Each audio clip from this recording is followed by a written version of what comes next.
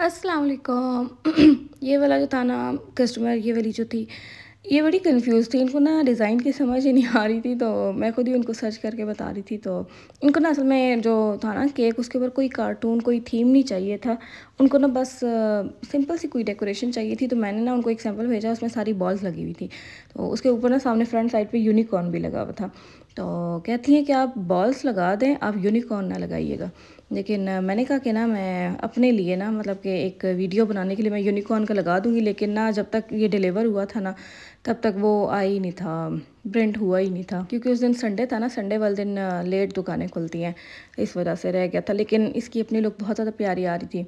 और बाकी इसके साथ मैं सोच रही थी कौन सा थीम दूँ तो मैंने ना ये सिल्वर कलर की बॉल्स थी, ये मेरे लिए एक मैंने आप लोगों को बताया था, मेरे लिए एक व्यूअर लाई थी यूके से तो वो अभी तक पड़ी थी, ये फ़र्स्ट टाइम मैंने यूज़ किए हैं, क्योंकि इनका यूज़ मुझे समझ ही नहीं आया था। यहाँ पे प्यारी लग रही थी तो मैंने कहा, चलो लगा देती हूँ।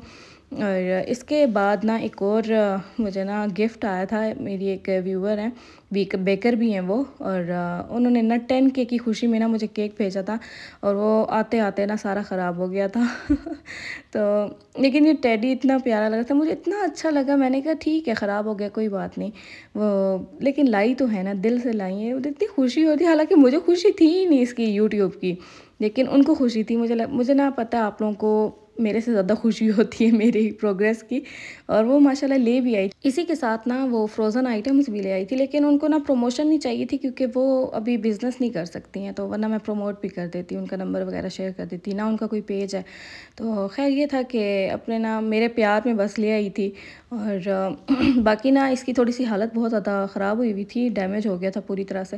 लेकिन मैंने कहा मैं इसको कट करूँगी और प्रॉपर सेट करके कट करूँगी तो खैर, मैं इसको सेट करने लगी थी, इसकी ड्रिपिंग वगैरह उतार दी थी वाइट चॉकलेट की ड्रिपिंग थी तो आराम से उतर गई थी।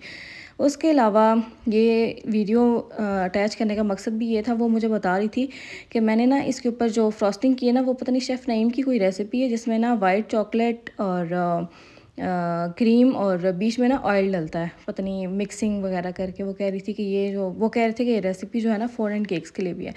लेकिन आप लोग खुद देखो, ये जिस हालत में आया है, ये ज़रा सी भी गर्मी बर्दाश्त नहीं कर सकता। मैंने इसके ऊपर गला, गर्म स्पैचुला मार के ना मैं इसको थोड़ी सी फिनिशिंग करने की कोशिश करती थी। ये मेल्ट होना शुरू हो जाता था। मतलब कि ये स्टेबल नहीं है बिल्कुल भी। तो आप लोग कभी भी ये ना यूज़ करना, ठीक है? आप लोग वाइट चॉकलेट गनाश होती है, वो बहुत स्टेबल होती है। लेकिन उसके अंदर कभी भी ऑयल ना डालना, ठीक है? वरना आप लोगों की ना केक की यही हालत होगी। मैंने, मेरे सामने आप लोगों के केक से मैंने उनको भी समझाया। मैंने कहा, अगर आपने कुछ ऑयल वगैरह डालना भी है ना तो आप ऑयल की जगह बटर डालो, क्योंकि बटर जो है ना वो फ्रीज़ हो जाता है, फिर इतनी आसानी से ना वो मेल्ट नहीं होता। तो उसका यही है ऑयल तो पहले से ही मेल्टिंग पोजीशन पे होता है। तो इस वजह से ना वो स्टेबल नहीं है इसके लिए, बाहर की आइसिंग के लिए तो ख़ास तौर पे सारी डेकोरेशन आपकी बर्बाद हो जाएगी। तो खैर वो कहती हाँ मैं नेक्स्ट टाइम ऐसे नहीं करूँगी। लेकिन जितने वो प्यार से लाई थी ना, लेकिन ये यम्मी बहुत ज़्यादा था। बाकी उन्होंने कहा था कि ना, आप इसकी ओरिजिनल पिक्चर लाजमी दिखाना ताकि ना जो है ना व्यूअर उनको पता चले कि मैं कैसा केक लाई थी, लेकिन अब ख़राब हो गया खैर, अब मैं ना इसको सेट करी थी, इसको ना टोटली मैंने न्यू लुक दी थी, क्योंकि ना वाइट चॉकलेट ड्रिपिंग का वर्क मुझे नहीं पसंद। बिल्कुल भी।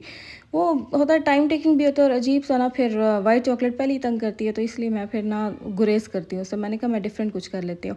बाकी ये शायद ओम्ब्रे इफ़ेक्ट है, वो कह रही थी कि ये ना आप दे, ये आप दे दें। इससे ये होगा कि जो थोड़ी बहुत नीटनेस नहीं भी आई ना, वो भी हो जाएगी। और बाकी ना उन्होंने मुझसे ना रिव्यू भी मांगा था कि एज अ बेकर आप क्या सजेस्ट करती हैं, इसमें कोई कमी वेशी हो तो। तो जो चीज़ मैंने और मेरे घर वालों ने फ़ील किया ना, इसमें मीठा बहुत ज़्यादा था। तो ऑल दो इनका ना स्पंज बहुत मज़े का था, मैं इनसे पूछने भी वाली थी कि कौन सी रेसिपी यूज़ की है। वो ना थोड़ा सा ब्राउनी टाइप था फजी टाइप था, बिल्कुल एग्जैक्ट वाला। और बाकी इसके अंदर इन लोगों ने चॉकलेट फ्रॉस्टिंग यूज़ की थी और बाहर जो था ये क्रीम वाली, इसका टेस्ट बहुत मज़े का था, लेकिन ये ना बहुत ज़्यादा मीठी थी। तो उस वजह से ना मैंने, मैं मैं तो ना पता नहीं, बहुत शौक़ों से मैंने खाया, हालाँकि मुझे मीठा लग रहा था, लेकिन मैंने बहुत ज़्यादा खाया इसको। और, बाकी ये था कि इसको सेट कर लिया था टेडी बियर भी थोड़ा बहुत सेट करके न्यू अल्फ़ाबेट्स थे, जो टेन वाला था ना वो सारे ख़राब हो गए थे, हमने फिर न्यू कट किया था।